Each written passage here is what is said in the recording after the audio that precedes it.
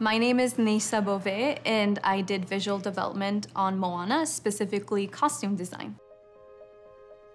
Moana's necklace was a really cool piece to work on. It's a prop, but it's such an important prop to the storytelling process, you have to make it very unique. I did a lot of variations. We finally found the abalone shell. It's sort of covered in this layer of what almost looks like rock.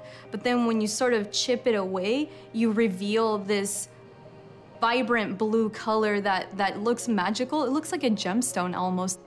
And it was a great juxtaposition of land and sea, which is her. Her name, Moana, means from the ocean.